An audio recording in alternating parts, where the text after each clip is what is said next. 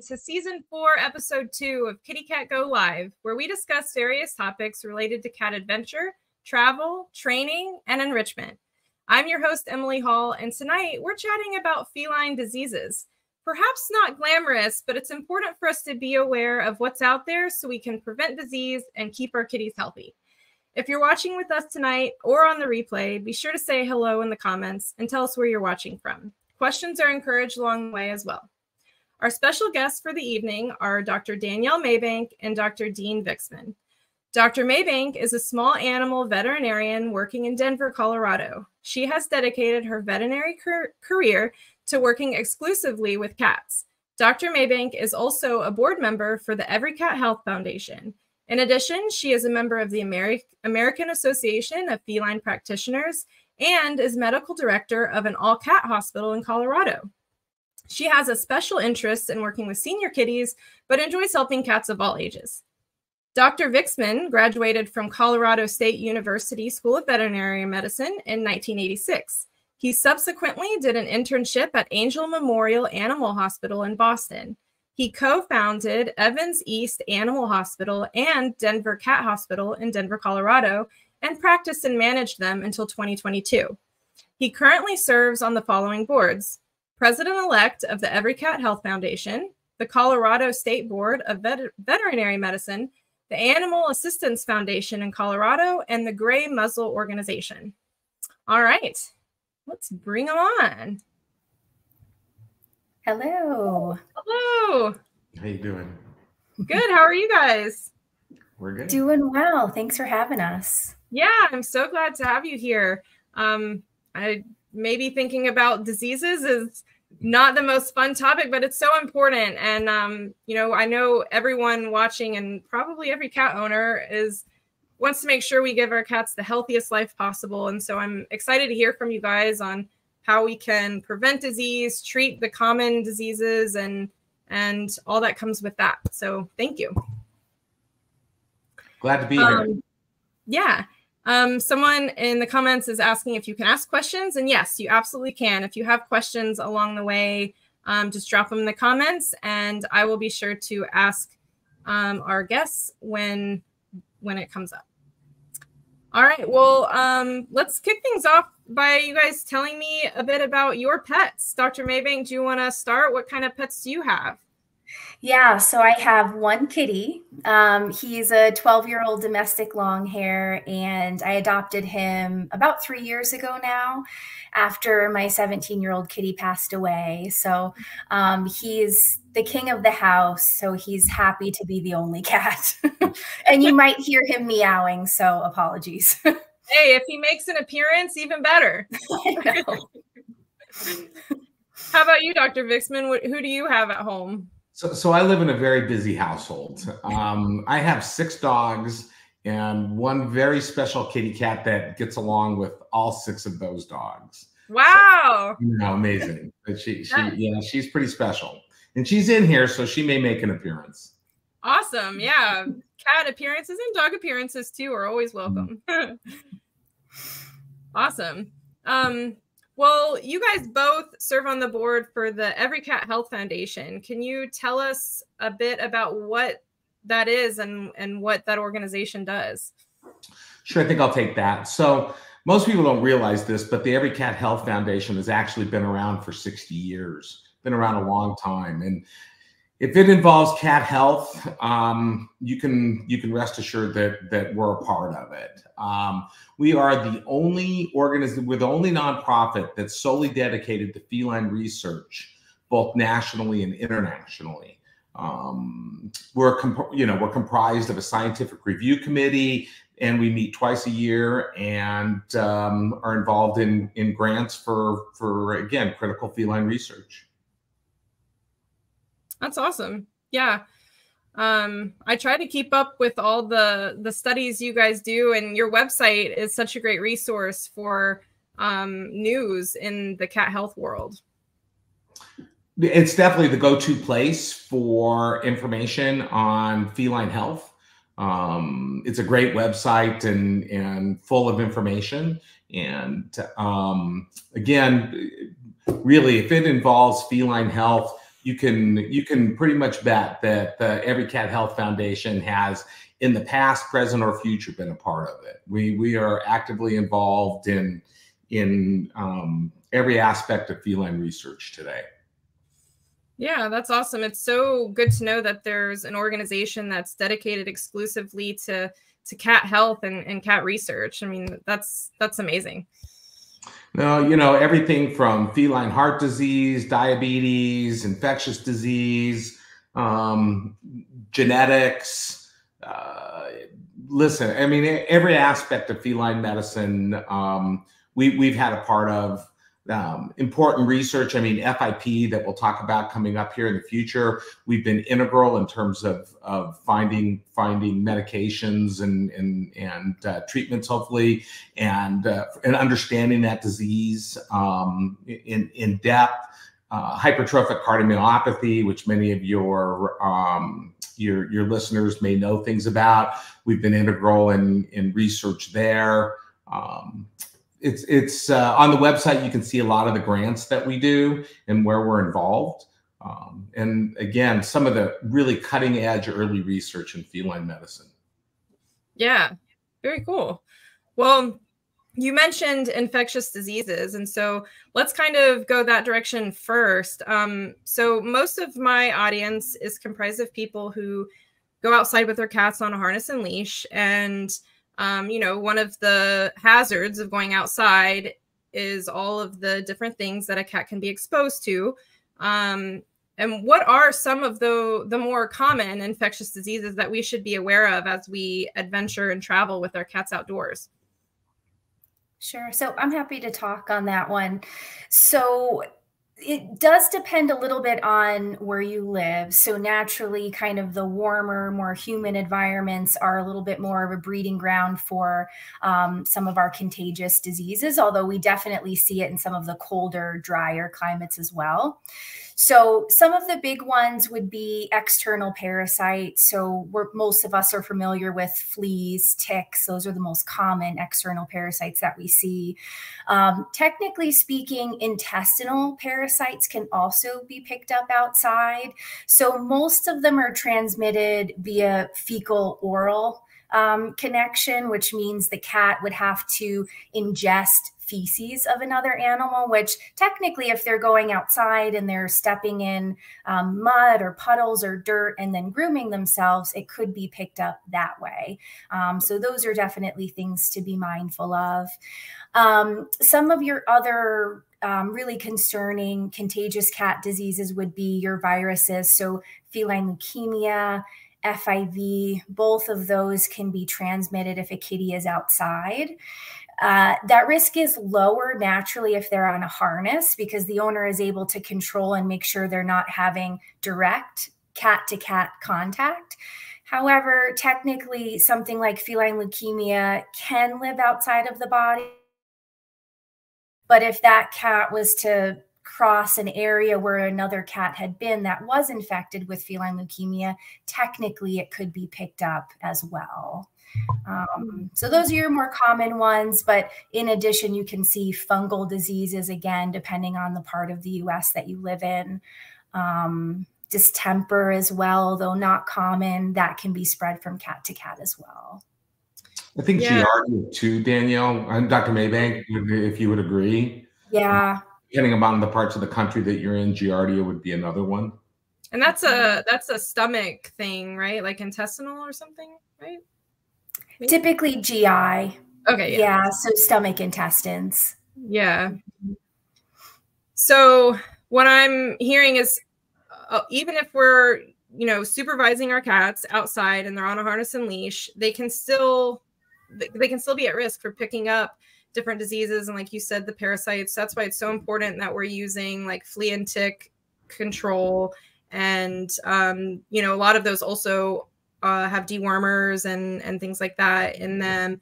Um, and then also make sure we wipe our cat's paws down when we come inside and things like that, so that way they don't groom anything potentially hazardous when they come back inside.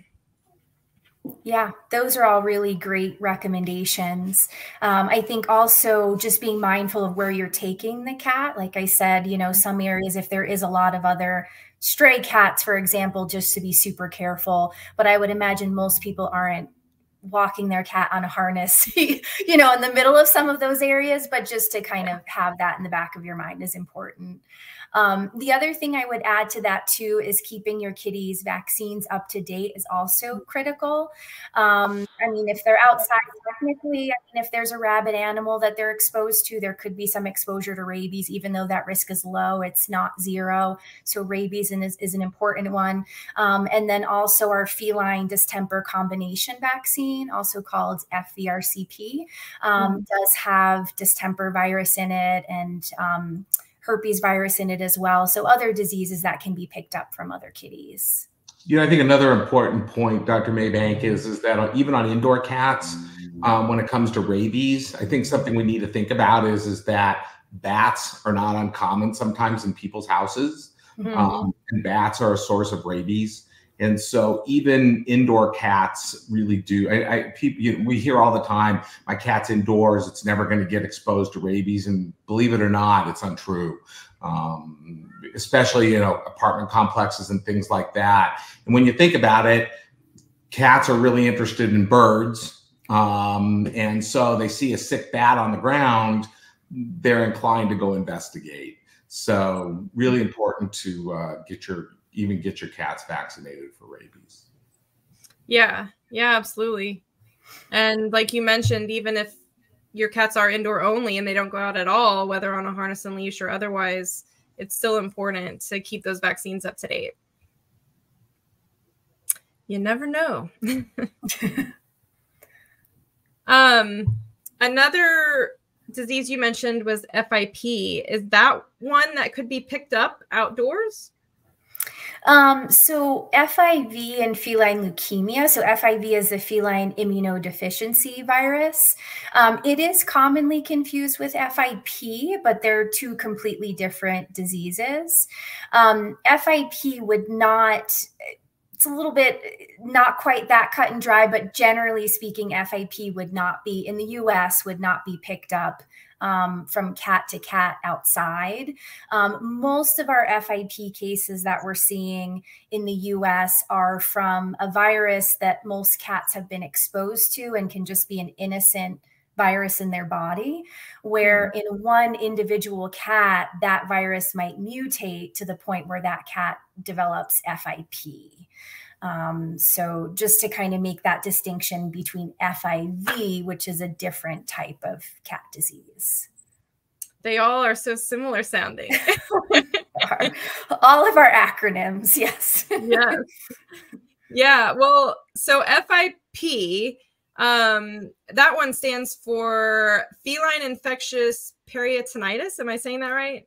Peritonitis. Peritonitis. Okay. Yep. Um, so you mentioned that's something that most cats are exposed to and then some in some cats it just mutates and becomes something serious. Can you expand on that? Tell us a little bit more about fip i know most people hear that and either don't know what it is or it's a scary thing right? Because it's this disease that's sort of i don't know mysterious. There's not there hasn't always been a cure for it and the one that's there as you know we'll talk about is not fda approved um, so I don't know. Can you guys tell us about it? Yeah, so FIP historically and and and currently still without treatment is a fatal disease, um, unfortunately, and it is a disease that will typically affect young cats. So usually cats less than a year of age, but also kind of your one and two year old kitties. It can actually affect older cats as well, but most cats are quite young when they develop it. Um, and the virus that is infecting these kitties can live in the GI tract. And again, most of the time, it's just an innocent virus. In some cats, it can cause a little bit of diarrhea. But in that individual cat where the virus changes and becomes FIP, those cats can become quite sick. Um, so the tricky part, one of the many tricky parts actually about FIP, is it doesn't present the same way often in every cat. Mm. Um, there are some cats where there's two different types of FIP that we see. One is what we call a wet form, and the other is called a dry form. The wet form, cats' bellies tend to fill up with fluid. So sometimes those can be a little bit easier to recognize and diagnose because we can actually sample that fluid and run tests on it. But it's the cats that present without the fluid and just vague signs of they're not growing, they're not eating well, kind of unexplained fevers. There can be a lot of different outward signs that we see, which makes it tricky sometimes to know which cats are FIP versus something else. Yeah, because some of those symptoms are kind of generic, you know, like what could it be? right. Right. Yeah, that's hard. We don't have a perfect test for it. I mean that that mm-hmm. that that's the issue right now is that there's we just can't draw blood and sit there and say your cat has FIP. Yeah. Um, it, it, it's complicated. It's kind of a, a whole combination of, of, you know changes in blood test parameters, clinical signs, um, there are tests that we can do to uh, identify FIP, but it's not a simple, easy, just let's draw some blood and your cat has FIP. Yeah. Um, yeah, that's that's so scary. I know, you know, when when our cats are sick, we want answers, you know, so so quickly so that way we know what to do and and how to treat it and the fact that there's not uh a quick and easy like, oh yeah, this is what your cat has just makes it I don't know, makes it scary. Is there um are there like certain factors that make a cat more likely for them to if they're carrying that virus, are there certain factors that they might have that make it more likely for it to turn into FIP rather than just, you know, just a little bit of stomach upset or what what you mentioned, Dr. Maybank? Yeah, so most of the cases we're not exactly sure why in one cat they just have kind of the virus in more of an innocent form, and in another cat it turns into FIP. That piece isn't fully understood. Mm-hmm. Um, it is thought, though, that cats that live in a more dense environment, so um, just meaning if they're around a large population of other cats, that potentially their risk might be higher. But again, there's just so much to it that it's really hard to say definitively which cats are at greater risk. Yeah, that makes it scary too. yeah, yeah. So, so many unknowns with it. Um, right. What if so? If you suspect that a cat does have it, what can be done? I know you said it's typically fatal. Um, you know, are there treatments? Are there things you can do that you know might extend the life or or you know help? I'll, I'll take this one danielle. Sure. so you know we're living in, in some interesting times emily to be honest with you. So there are you know again I, am gonna have to come back to the every cat health foundation because it's our re- research funded by us that has um, identified potential treatments for fip we're living in some pretty some pretty exciting times, to be honest with you. Um, realize that I graduated a long time ago in 1986, and so for for 30 years here, you know, if you came in and your cat had FIP, we unfortunately have to tell you that there's nothing we can do and that this is ultimately going to be a terminal disease for your cat, which is really very frustrating because again, it's often young cats. And, and as you and I, we discussed in the before the show, there's really no human equivalent to this disease. So owners have a very hard time understanding it. But again, the good news is is that recently there there have been some medications that have um, been identified that can potentially treat this disease these medications, unfortunately, in the United States are not FDA approved. They are approved in other countries and they're well researched in other in our country and other countries, and they're effective and they work well. It's just difficult. It's not easy to, to get necessarily easy to get those medications through your veterinarian to help treat your cat. So there are some avenues that owners can can pursue, and and we discussed that, and that may be something you want to discuss, you know, with your with your viewers. But again, the exciting news is, is that there are potential treatments available for cats that have FIP, which we didn't even dream of um, as you know, even even five years ago. Mm-hmm. So this is really exciting times for cats with FIP. Yeah, that is exciting to hear. Um, you know, things are moving forward, and what maybe used to be such a scary thing is becoming a little bit less scary every day. Um, and I know one resource out there if someone has a cat with FIP and you're looking for um, some treatment, despite the fact that it's not FDA approved here in the US, if you reach out to FIP Warriors, you can get some information on how to pr- procure that treatment for your cat. You know, and as veterinarians, I think Dr. Maybank would agree with me that we're pretty comfortable in monitoring cats that are on, you know, if owners can acquire these medications and treat their cats with these medications, as veterinarians, you know, we're happy to to monitor and help owners through the process. Um, you know, once that once the owners have, have done their due diligence and and and figured out how to acquire that medication. Um, we're comfortable in, in, in assisting them in terms of monitoring and blood tests and things like that. But again, exciting times for cats in veterinary medicine. Yeah. Do you think um, it's not far on the horizon for the US to have an FDA approved treatment here? I know we're working on it. There's several companies that are working on getting FDA approval for medications. Um, how far out is that? I don't know. Um, you know things move slowly unfortunately when it comes to drug you know drug approvals in the united states. Um, but i do think that there's hope and that yes um, hopefully in the in the future here we'll have we'll have uh, approved treatments for cats. Yeah. Well that's good news and that'll be something to celebrate when it happens. Agreed. It'll make life much easier for all of us.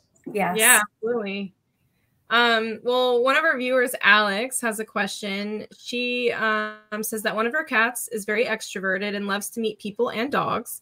And she's wondering if she should worry about any diseases being passed from um, to her cat from dogs if her cat touches noses with a friendly dog.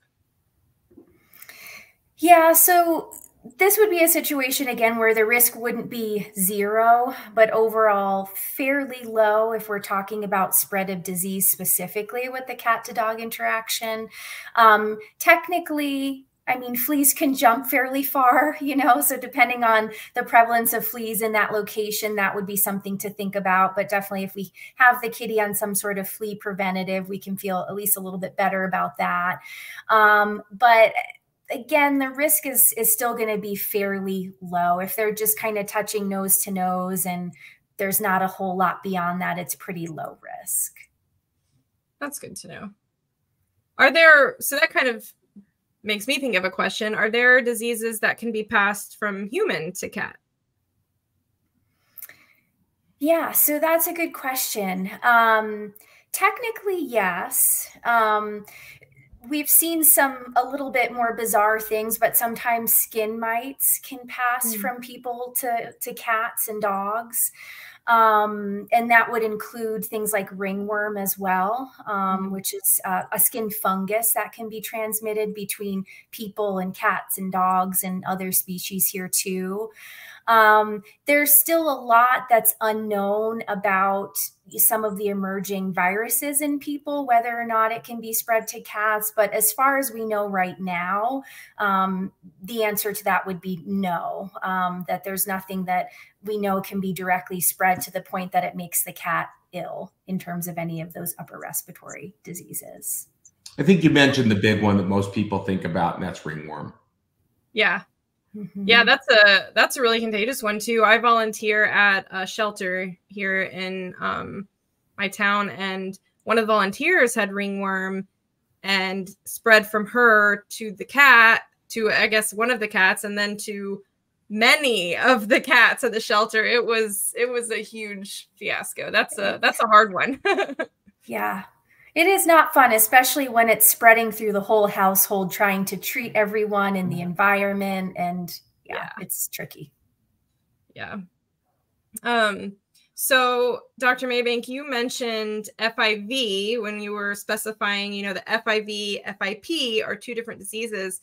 So, I want to talk a little bit about FIV and, um, well, F- FELV, feline leukemia. You mentioned that one as well. They are sometimes mixed up. Um, and a lot of times people hear, hear FIV and think that it's super contagious the way that FELV is. Um, can you give us some clarification on the difference between those two diseases?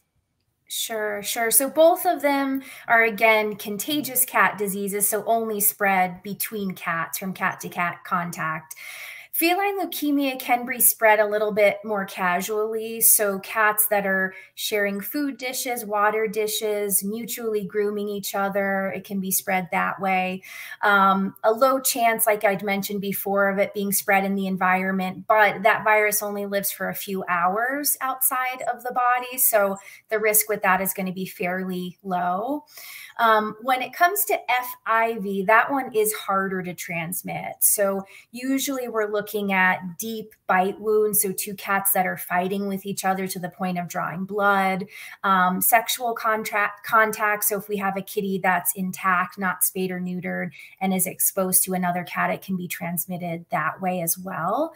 Um, they've actually done studies on two uh, or an FIV positive cat in a household with a a non FIV positive cat or cat without FIV and found that they can coexist and that the risk again is is pretty pretty low unless they're fighting to the point of drawing blood which hopefully that wouldn't be the case especially if it was two kitties living in the same household. Yeah. Yeah, I actually have a cat that's FIV positive and um, she's she's almost 12 and um, she was a stray that my husband and i rescued and uh, when i took her to the vet and got her tested um, the vet that i took her to I think was a little outdated in his information. He told me you know i should put her down that she wasn't going to be able to have a good quality of life and thankfully i didn't listen. I, I came home and did a bunch of research online and discovered, you know, that she could have a good life and could even be with my other cats as long as, like you said, Dr. Maybank, they don't fight. Unfortunately, she is a biter, so oh. she uh she has her own area of the house that she lives in, but she's very healthy. And um, you know, I think people hear FIV and think like HIV, you know, like the human equivalent and AIDS, and you know, that's such a scary word, and it doesn't have to to mean that, right? Absolutely. Yeah. And like you mentioned, they can live completely normal lives and just being mindful that kitties with FIV are at a greater risk of developing infections. So, you know, just always monitoring them very closely.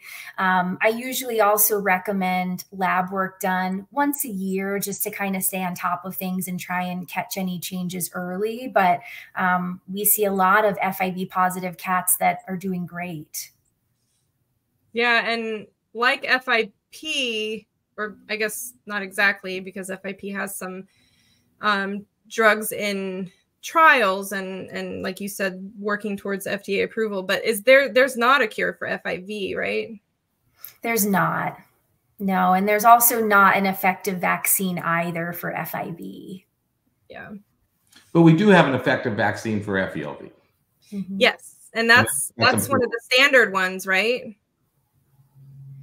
um, yes and no. So um, it is considered a lifestyle vaccine in adult kitties, meaning that if they have exposure, so going cats that go outside where they may come into contact with other cats, it is considered kind of core for those kitties. Mm-hmm. Um, the American apologies, my earbuds are falling out. Um, the AAFP recommendations is also to vaccinate kittens as well, with the thought that they have baby immune systems. If they ever snuck outside, it's better that they're protected than not. Um, so we use the feline leukemia in a lot of kittens as well. And we need to remember that if we have a, a cat from a single cat household and it's a strictly indoor cat, you, you know, getting it vaccinated as a kitten is important but if it's strictly indoors and doesn't go outdoors and it's a cat to cat contact disease and it's an only cat, then that's why it's a lifestyle vaccine. That cat may not need to be revaccinated um, for it versus yeah. a cat that goes indoor and indoor outdoor cat. That makes sense. Is there um is there a cure for feline leukemia? No, unfortunately, there's not a cure for that. Yeah. Know, darn. Maybe one day. yeah, man. Uh, well, with all this research and research on your plates. To, to what did you say, Dr. Vixen? I'm sorry. with all this current research in antivirals and humans and you know and kitties, hopefully someday. Yeah, that's that's what I was gonna say. With all the research you guys do, you've got a, a lot of opportunity to to do so much research, and and I know you guys do, and so that gives us all hope that, like you said, one day there will be cures for these diseases, and it's good to know at least there's um, some vaccines that help prevent some of these things, like the feline leukemia. For sure. Um. So another one, another disease you guys mentioned was distemper, and that's the same as panleukopenia, right? Is that am I saying that one right? It is, yeah. So same as panleukopenia. Sometimes people will also call it feline parvo, um, but they're all from the same virus. And that's another one that has a vaccine, right? You mentioned that one. That's the standard one.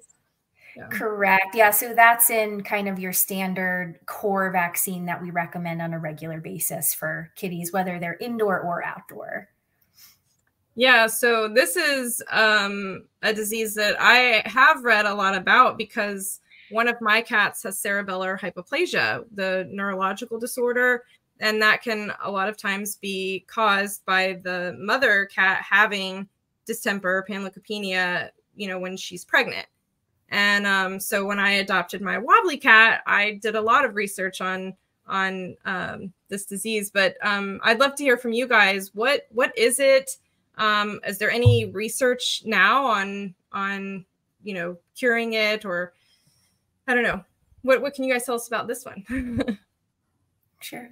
Um, so, uh, cerebellar hypoplasia basically has to do with the brain not forming properly. So, specifically, the part of the brain, which is the cerebellum, one of the big responsibilities is balance and you know allowing the cat to know where they're walking in space essentially yeah. so cats that have an underdeveloped um, part of their brain can be kind of wobbly hence the name wobbly disease or wobbly syndrome um, where they can um, kind of have this funny cute little gait where um, you know they sometimes will have a, a wider gait or they kind of sway a little bit when they're walking back and forth um, the good news though is those cats can have a normal life as well. Otherwise, they're typically very normal kitties. Um, they just need a little bit more help, as you know, Emily. It's if you have a mm-hmm. cat with that of you know getting used to this is your litter box, help potentially getting in and out of it, kind of modifying some things in your home just so that they can move around a little bit easier. Um, and as far as research goes, this is a disease that is is pretty well understood at this point. Um, and it's not a situation where we could create like a vaccine against that specifically. Um, and again, just knowing it is due to a virus that mama cat can get while she's pregnant, the biggest thing is just to make sure that cats are vaccinated, fully vaccinated prior to becoming pregnant um, in hopes that we can avoid something like that. Yeah. So is sorry, go ahead. I think it's also important to point out that you don't want to vaccinate your pregnant cat mm, with not while pregnant. Yeah. Yes, while they are pregnant, because that can also cause the, the it's a modified live back uh, virus. And so, mm-hmm. if you vaccinate a, a pregnant cat um, with the distemper vaccine, it can lead to the same problems. Yeah. Yeah. So, is is the distemper virus one that can pretty easily be picked up?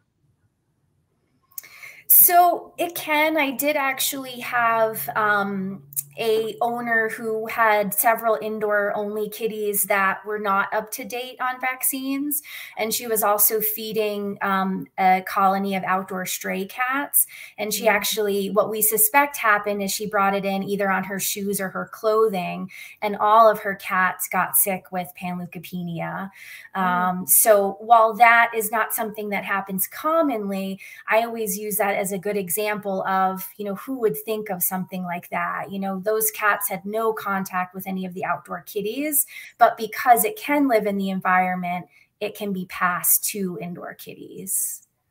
Yeah, wow. That that is a really great example of how indoor cats should be vaccinated regardless. Um is there a treatment for it? So the woman whose cats got it, did they all recover? Yeah, so first, fortunately, all of her cats did recover. Um, it's a pretty long recovery period, and not every cat does make it. Um, a lot of these cats end up with really high fevers and they're not eating. And so it can be really tricky to get them over that to the point where they're eating and feeling better again. Um, but it's usually a pretty long road to get there. Well, at least um, at least there is some treatment for it. That's good. It's yeah, and treat. Care. Yeah, exactly. What was that? I'm sorry. It's supportive care. So if they get exposed, you, we just have to let their body fight off the you fight off the uh, virus and support them through it. Um, that having been said, especially kittens just don't, don't have a lot of reserve capacity, and so they're they're much more likely to to be ill and and maybe not survive if they get it. Yeah, yeah.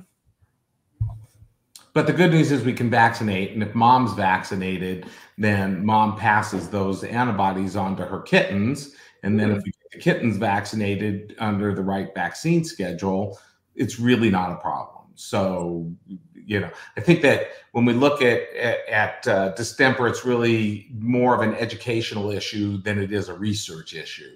It's getting the word out about vaccines and and having owners understand the vaccine schedule and just getting kitties vaccinated because it's such an effective vaccine. Yeah, yeah, that's good. It's a good a good uh, reminder. Yep. Vaccinate your cats. It's important. Yeah. Um, I want to steer a little bit away from the infectious diseases and talk about some of the other um, diseases like kidney disease. I know that is such a common disease, especially for cats as they age.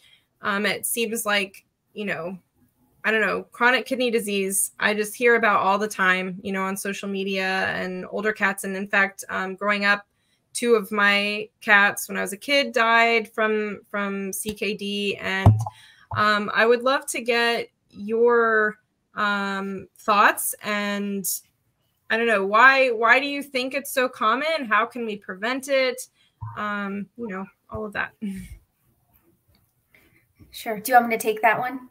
I'll let you take that one. Okay.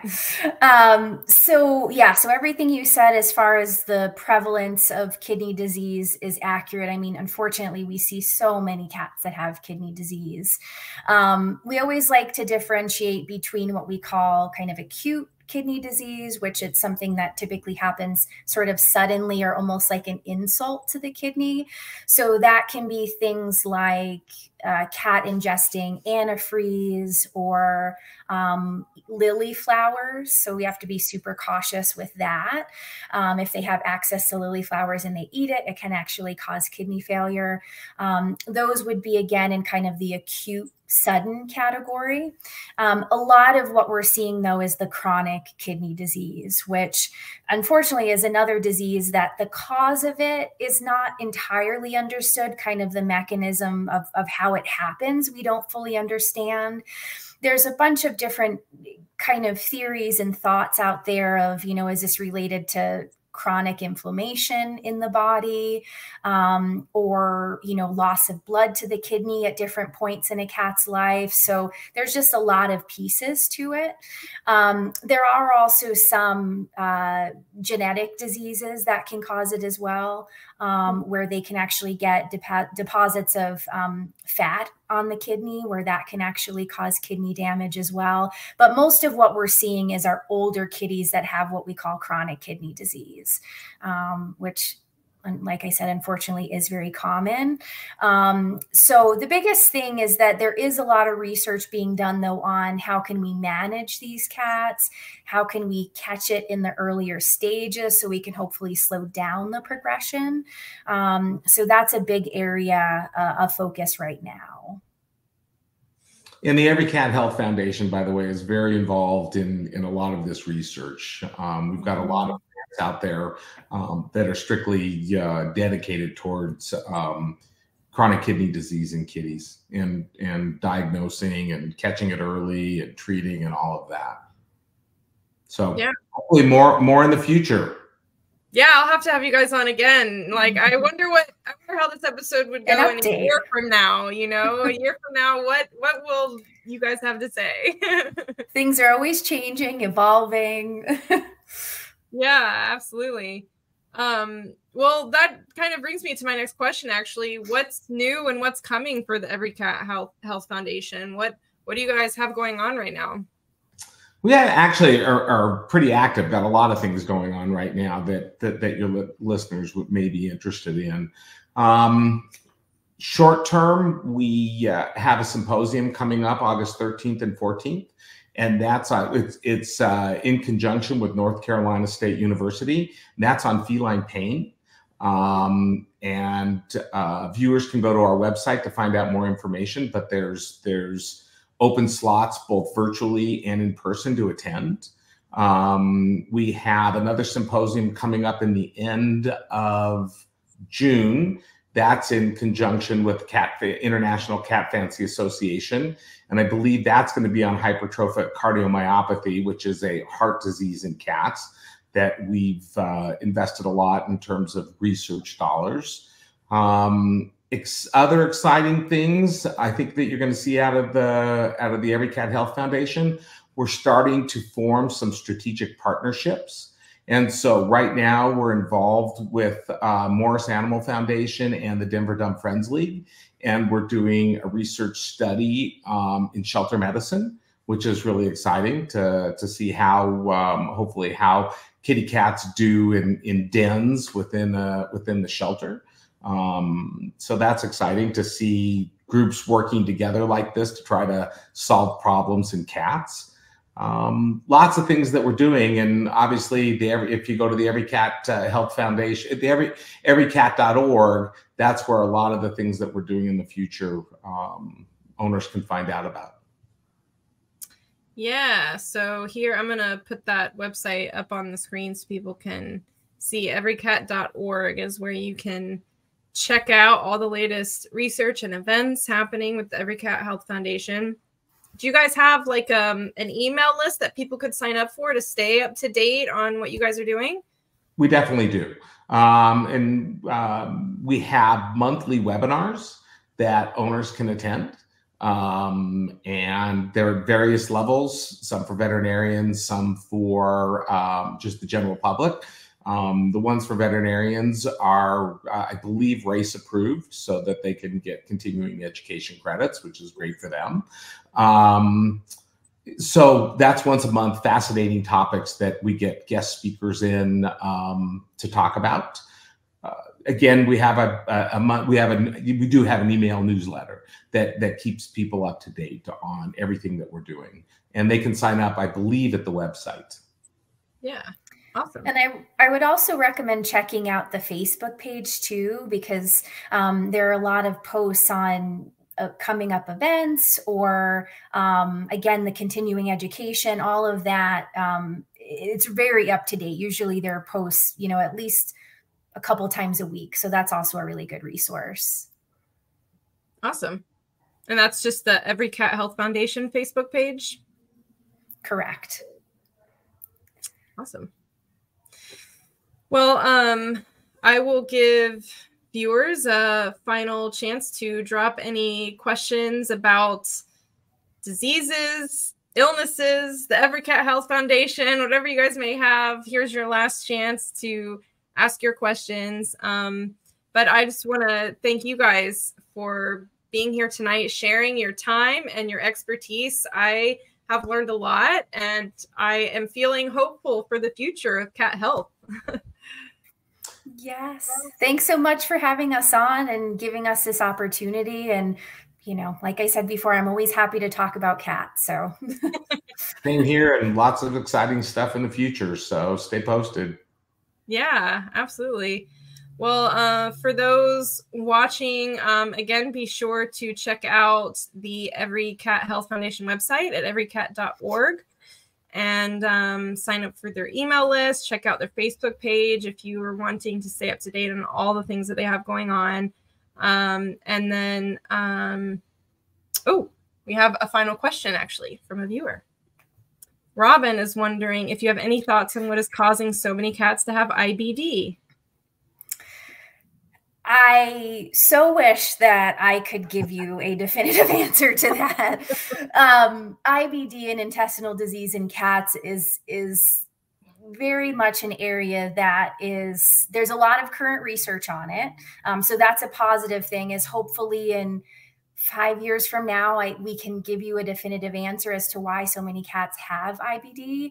Um, but it is incredibly common. And so, one of the things I always like to tell owners is not to ignore vomiting is one really big thing. So there's kind of this myth out there that cats vomit, it's what they do, but often it's because we have so many kitties that have IBD. So if you do notice that your kitty is vomiting, to reach out to your vet and and have them checked out. Yeah, so it is very common. I have two cats that have recently been diagnosed with it in the past I don't know, 5 or 6 months and uh I'm like, golly. I mean, I have seven cats, so I get, you know, the chances are high that somebody's going to have. they are, unfortunately. Man, two out of seven. Dr. Maybank, do we have a lot of research going on through the EveryCat Health Foundation on IBD? There is, yeah. So small intestinal disease in general. Um, and I always kind of say that specifically because IBD and small cell lymphoma are, are very closely connected to each other. So there is also a lot of ongoing research of what's happening in these cats with IBD in their younger years. Are they actually developing lymphoma? So that's another area that's being looked at as well. Yeah. And so when I first took one of my cats to the vet when, you know, he was not eating very well, he was throwing up a lot and they diagnosed him with IBD, they mentioned lymphoma like you were just talking about and they said they're very similar and even treated very similarly. Is that right? Yeah. It's correct. Yeah. And, you know, we often find too that, you know, now some of the newer research is calling it almost like a spectrum where we have some cats where it's it's IBD, but could also be small cell lymphoma where we do treat them in a very similar fashion. Um, so the good news is that even if it's small cell lymphoma, it can be very manageable. Um, I have some cats who were diagnosed four or five years ago and and they're still doing pretty well. So that's if you can call it the silver lining that's what i would say is there are some good treatment options. Yeah that's good. That is good. And to know also that there's research going on about it too. Mm-hmm. there definitely is. Lots of active research in that area. Yeah. Well awesome. Well um thank you again, guys. This is um, really great. And thank you for those watching for um, bringing your questions and spending your evening with us. Uh, be sure to mark your calendars for the next episode of KittyCatGO Live, which will be Wednesday, April 10th at 8 p.m. My guest will be Kate Benjamin from Hauspanthers. She'll be um, talking about catification. You might know her because she co authored two books with Jackson Galaxy um, the Catify to Satisfy and Catification. So um, come check that out. I'm sure she'll have some really great tips on how we can catify our homes and give our cats, uh, you know, an enriching environment. Uh, but that's it for tonight. Be sure to hit that subscribe button if you're watching on YouTube and the follow button if you're watching on Facebook so you don't miss future episodes and happenings here at KittyCatGO. Uh, thanks again to our guests, Dr. Maybank and Dr. Vixman. Thank you. Thank you. Yeah. Have a good night, everybody. Bye. Bye.